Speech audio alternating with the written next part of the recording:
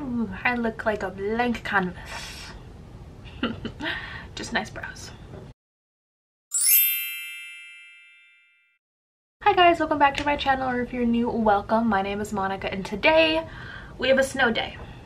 Technically, it's not snow yet, like it's still raining, but apparently like we're gonna get like a foot to a foot and a half between this afternoon and tomorrow morning. So everything closed down preemptively, my bookstore is closed. So I'm here enjoying the day off. And what do I do with my days off? Well, I clean. I do a lot of laundry and I put makeup on my face. so I haven't done a chatty get ready with me in quite some time. I think I've only done one before. Um, so anyway, I just thought it would be fun just to sit down, try out some things, really take my time with my makeup since I'm obviously not going anywhere. The only thing I would do is maybe shovel today but but the worst of the snow isn't supposed to hit until like five or seven so i might just be shoveling tomorrow morning Anyway, let's just jump into it. So I actually just spent like half an hour doing my brows, like I plucked them all. And then after I was done, I just went ahead and threw some dip brow through them and then a little bit of the dark brown powder from my Pan That palette just to set everything in. And that's all I have in my face so far. I really want to use the Bad Habit Aura palette. I've dug into this once or twice. As you can see, I do have some dips in like these uh, like this mauve shade right here, a couple of the purple shimmers, which are gorgeous. Um, you definitely need to glitter glue with these, and there is some fallout, so I am doing my eyes first. Prime first with my MAC paint pot. I'm using soft ochre again. I started using Painterly for the longest time, but I found that it was leaving like a pink undertone to all of my looks even when I didn't really want like a pink undertone. So I'm going for a little bit more of a neutral look. I grabbed soft ochre. I actually prepared today. Like I have like all my makeup set out like you're supposed to, Monica.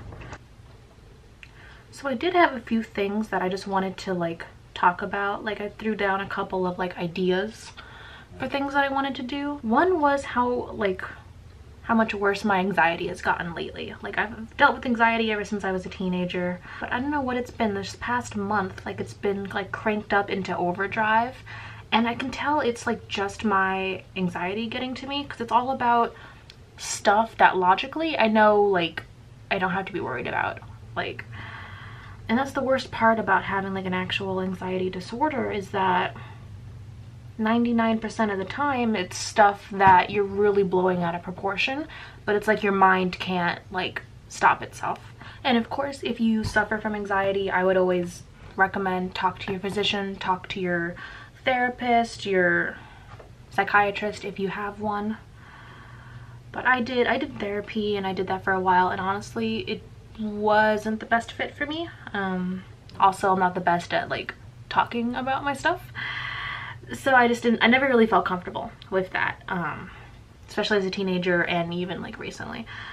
So recently I've been trying to figure out like better ways to just help my anxiety that I can do every day here at my house. And one thing that I've really like been trying to get more into is journaling. Okay, so since I know that these shadows do have a lot of fallout, I'm to go ahead and throw on some of these shadow shields that I have. They are really sticky. So definitely recommend just taking off like the top part of it, sticking it on your hand and then going in. Otherwise you'll like rip off your eye. I look amazing. So the first shade I'm going to go in with is a mixture. I'm going to use Dream State, which is like this neutral color right here. And then I'm going to take Awakening, which is like this salmon color right here. So I'm going to put Dream State just all over the lid. And then I'm going to do Awakening as the transition and like crease color. So anyway, journaling. I've been trying to journal basically my entire life and no matter what I do, I cannot stick with it. I tried buying nicer journals, I get Moleskines, I get all these nice things, especially at the bookstore that I work at. I get the discount so I can get nicer journals for like actually an affordable price. So I have quite a few notebooks and journals right now and even with those, I just find myself not reaching for them. And I found that like with me, the issue was if I set a time and I set, you know, a limit or anything on what I needed to write or what I had to write, I would never stick to it. And then at the end of the day, I would just not think, oh, it's not worth writing down. Oh, I don't want to do that. The best thing that I found for me personally is just to keep a small journal in my purse. I'm just building up the salmon color in my transition. So the best thing is just to keep the journal and a pen in my purse at all times. And whenever like I feel overwhelmed or when I feel anxious or like a need to just get stuff out, I'll pull the journal out and I'll scribble in a few words here or there. I feel that really takes away like the pressure of actually sitting down and trying to journal something. Whereas with this, it's just always with me and if I ever need it, I can just go ahead and jot you know something down. And i'm not worried about being neat. Like i see all these like really pretty journals online and i'm like i'm not artistic. Uh, my handwriting is really garbage. Like i'll never be able to make it look that pretty. So I'm, i had to really just sit down and tell myself like you don't need to like make it look pretty. This is really just to help you with your anxiety and just to get everything out instead of holding everything in and worrying about it constantly. So that's actually been working really well for me. As you can see there's like a ton of fallout. So it's a nice palette really pigmented but just beware that there's a ton of fallout i really want to go in with the shade ecstasy which is like this beautiful like emerald green shimmer so I think I'm gonna go ahead and use a glitter glue. I'm gonna take glitter glue all over the lid and then go in with ecstasy. So anyway, journaling has been really helping me. Another thing that I've been, you know, doing for years that's helped my anxiety is ASMR videos. I absolutely love listening to them like before I go to bed at the end of the night. I have like my regular headphones in and I'll just lay down and just I have a whole whole playlist of like my favorite ASMR videos and I'll just let the playlist go. But I found myself like if I'm feeling like really stressed like in the middle of the day or like if I'm on my lunch break and I'm like Ugh, like I'll just throw on like a short ASMR video and use that as kind of like a meditation and just feel the moment feel grounded and that's helped a lot too because I used to always like limit myself like oh just watch those before you go to bed at night um but like there's nothing stopping you from watching them in the middle of the day like I already live on YouTube you know, might as well. And if it works, it works. Like definitely, I mean, don't watch them like if you're driving or anything, but you know, if you're at work or if you've got a break or you've got some time to yourself, those are awesome. Ooh, I like that. It's, it's different.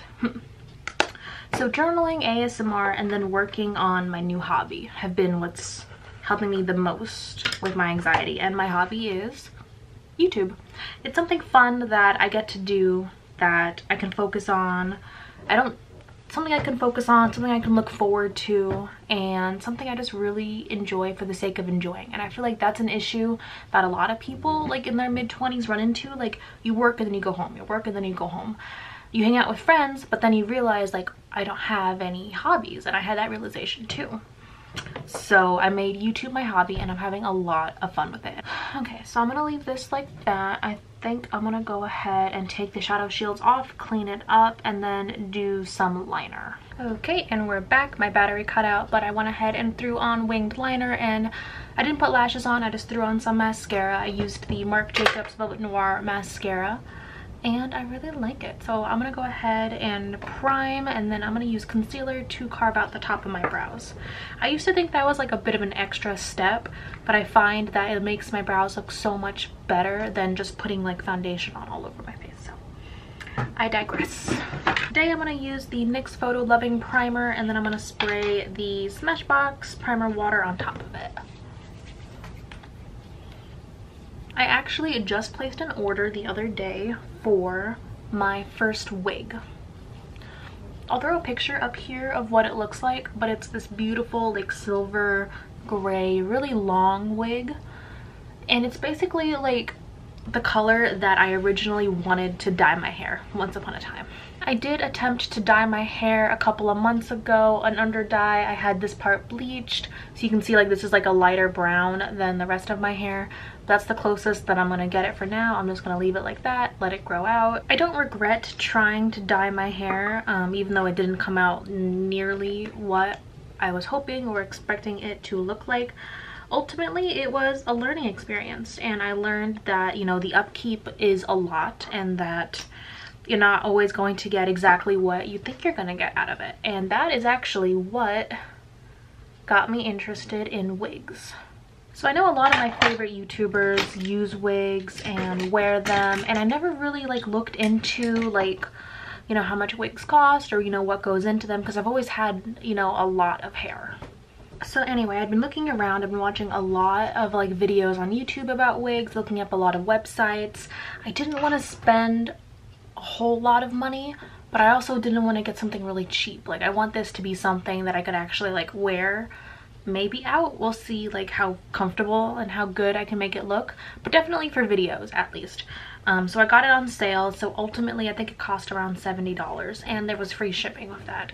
So according to the tracking information, I should get that the day after tomorrow, which is Friday. So I'm really excited about that. If you know any like YouTube channels that focus like solely on wigs or on like hairstyling or hair care or anything, please let me know down below. I would love to get more into that because up until now like all I do is just like straighten and blow dry my hair because it's like super curly. If you've seen any of my other videos, I'll link one above where my hair is curly. Like that's how it is naturally. And I, every time I wash it, I end up like blow drying it and then straightening it just to get it to look like this. And I know over time that's really damaging. So another thing that's led me to try out some wigs. Today I'm going to use the CoverGirl Vitalist Healthy Elixir Foundation. This is in shade 710 and I hope that it is light enough because I am pale. So after I placed that order for that first wig, I actually went onto Amazon and was looking at cheaper wigs because I saw a lot of videos. I don't like how this looks with the brush at all because I saw a lot of videos about people trying out like cheaper Amazon wigs and a lot of them looked really good. So I actually went out and I purchased another one like earlier today. And this one was cheaper. It was definitely around like the $20 mark. And it's like a green wig which I think is gonna look awesome. Like if it looks like it is in the picture that's one thing. Like you don't exactly know what you're getting sometimes with Amazon for concealer, I'm going to go in with that same Makeup Revolution Conceal and Define, but this one's in the shade C6.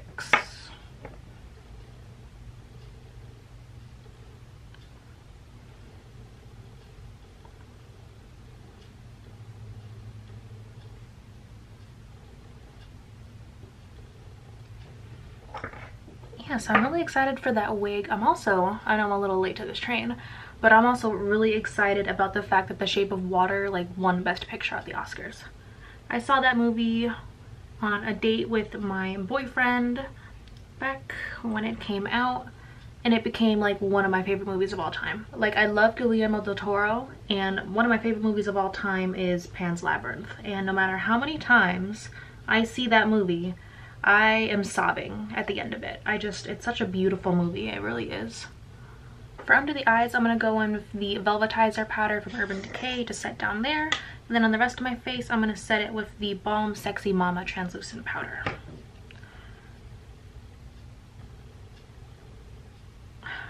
So yeah, I love that movie. I also love the soundtrack. The music from that movie was just stunning. So I actually just bought the the whole soundtrack and I've been listening to it like on repeat for the whole morning. God, it's beautiful. Actually the night that we went to see that movie is kind of a cute funny story so let me go ahead and tell that. We were this was back when we had to like uber most everywhere because my boyfriend broke his leg and he's fine now. But he was in a really bad like accident and was on crutches and then on a cane for a while. And for a while he was pretty bedridden. Um, but this was back when we could first start you know getting out of the house and going out and we had to Uber everywhere still because I don't drive because I suck at it and he couldn't drive because of his leg. So we were Ubering to dinner and we had dinner and then we had some time to kill before the movie and across the street from the restaurant we went to just an Applebee's. Across the street from the Applebee's was a Marshall's so we were like let's just go there and kill some time. So we go and for some reason that day the Marshall's was packed just like beyond packed and I found like one thing that I wanted. It was like an eyeshadow palette and so I go to wait in line and I end up in line for like 20 minutes, which normally it's not that bad. Um, but the mistake that we made was waiting until like I checked out to call the Uber to go to the movie theater.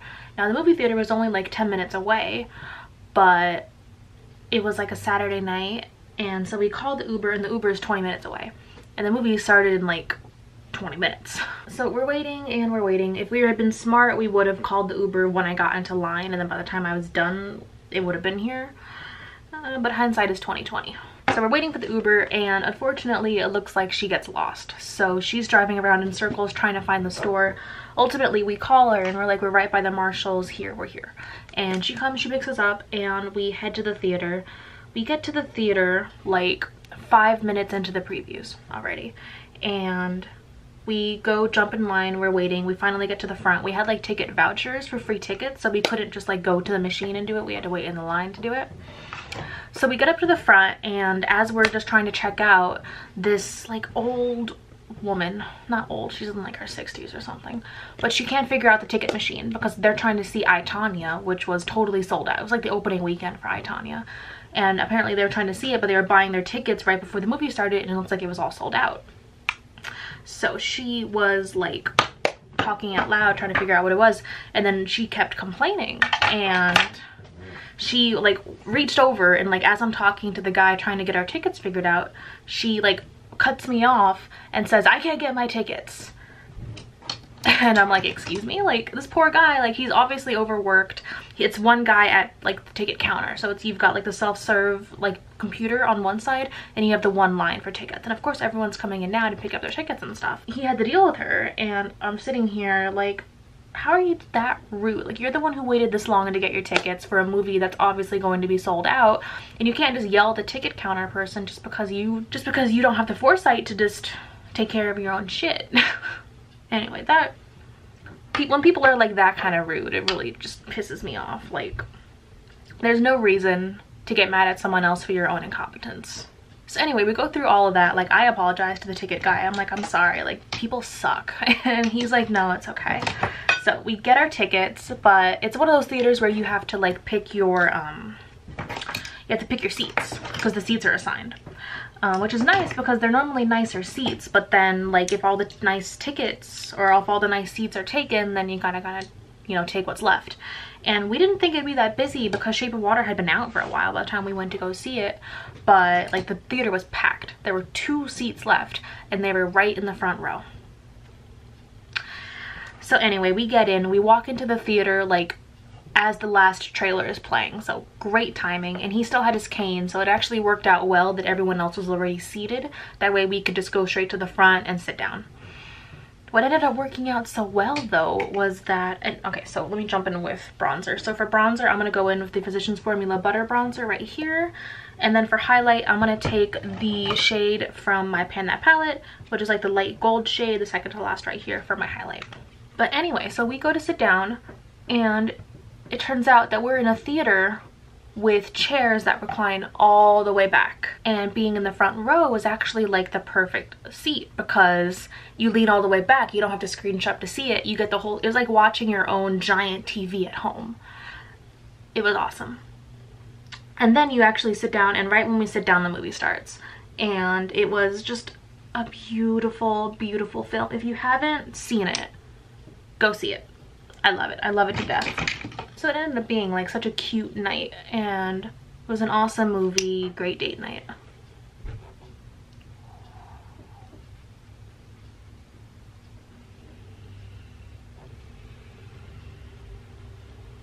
Okay, so for setting sprays, I'm going to go in with those before my lip color. I'm going to take the makeup primer spray from Skindinavia.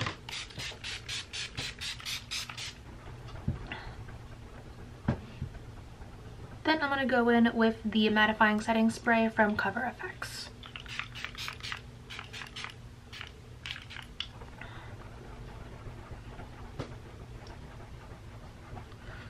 And yes, I have a Totoro fan. It's cute.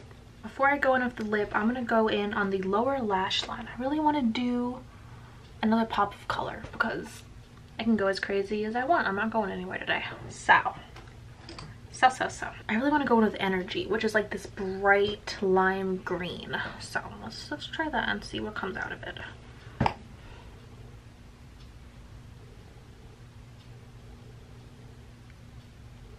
Okay, so it's actually a bit of a subtle look, but I'm liking it. It looks cute. For my lip color today, I'm going in with the ColourPop Ultra Satin Lip, and this is in Mess Around, which is like a taupey, like brown color really been feeling like the like the mauve dark brown like lips recently which is silly for me because it's like spring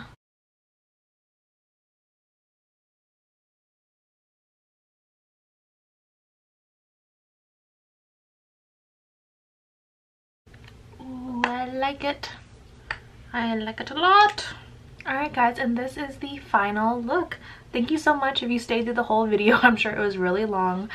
But, you know, I had fun just sitting down and just like talking about like whatever popped into my head. So if you like Get Readies with me, don't forget to hit that like button so I know if you want to see any more in the future. And don't forget to subscribe with that little bell icon so you're notified whenever I post a video. And I hope I'll see you in my next one. Bye.